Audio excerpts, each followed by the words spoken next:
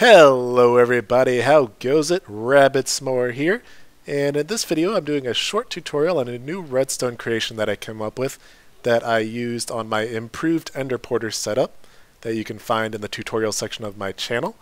And what this redstone creation does is allows us to send a signal two ways along one redstone line, which was previously not really possible in Minecraft. If we wanted to send a signal two directions, between two things, we had to do something like this. We had one button, a long line, and our output on the other side, and on the other side we had another button leading this way to here. And if we wanted to try to use one line, what ends up happening is, I'll show you here, we'll do a repeater right here, and dust on either side. You'll see when we activate this, it'll actually send the signal back here, which we don't want, and it will set an infinite loop of redstone, so we'll actually keep it activated. So you can see it activated the lamp at the other end, but it also keeps our whole system activated and it won't go off until we break all of the redstone here. So previously we had a huge line of wire going both directions here, and we couldn't do it one way, so I came up with two different redstone creations here that allow us to send a signal two ways along one line of redstone. And the first one here is an input-output gate that I came up with. Our input is right here, our output is right here, going into just an example of note blocks in a lamp. And when this signal is activated through the input, it won't activate our output here.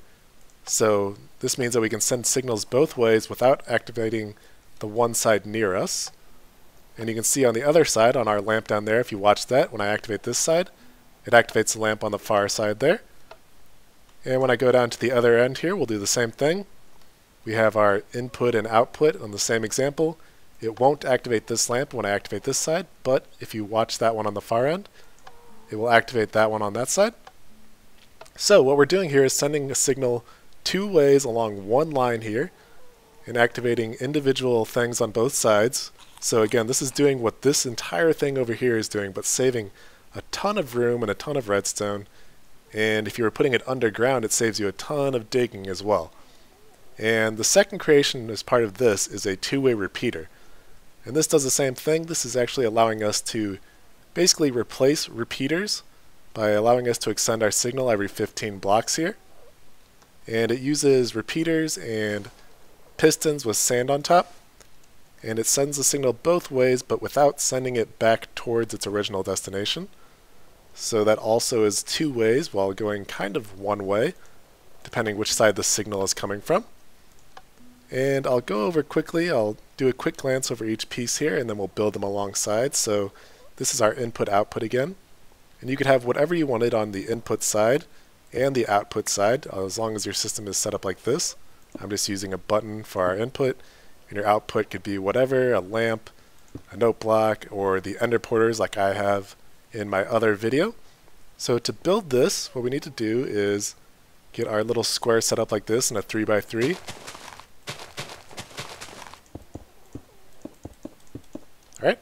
And we're going to do our input on the right side. You could do it, you can mirror this entire thing. You could have your input on the left side or the right side.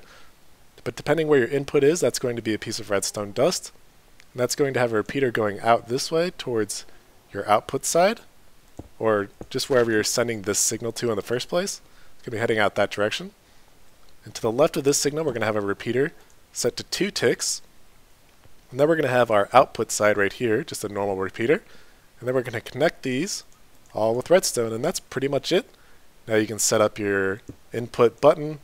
It will activate your signal and lock this side so it doesn't activate your output like this. But if your signal was coming in from the other side, it will then activate the note block there. So that's it as far as that piece goes. And then we have our one-way repeater system here. And this is going to be every 15 blocks. You basically use it just like a repeater. You would have these every 15 blocks as well. And to build this system, we're going to do kind of a 2x4 setup here, like this one is here. So I'm going to dig out 4 long and 2 wide. And on either end, we're going to have redstone dust going across both sides here. Then we're going to have a repeater on one side set to just normal, and on the opposite side, the opposite corner here, going this way. And each of those is going to go into a normal piston with a sand block on top. And I actually originally used a different block, but This saves us on using slime and it stops us from having to set delays on our timer so it's actually much faster than my old design as well. And that's pretty much it. You can have the signal coming in from either side here along your signal here and you could put the repeaters on either side, flip-flop those. But that's it as far as your repeater system goes. Now you can just connect these up wherever they're at in your world and whatever you're using them for and you're good to go with those. So that's pretty much it guys. And a couple different things you could use this for. This is brand new, at least for me. So I haven't thought of many things that you could use it for since I haven't needed it for many but I have it used in my EnderPorter system, so it activates one teleporter on one side from pressing a button on this side, but it won't activate the nearer teleporter. So you can use it for teleportation. You could use it for things like maybe calling a minecart from a further train station to you, and vice versa. You could use it to send a signal over to your friend's house or something just to say hi, or just to, you know, let them know that you're at your base or that you're heading over.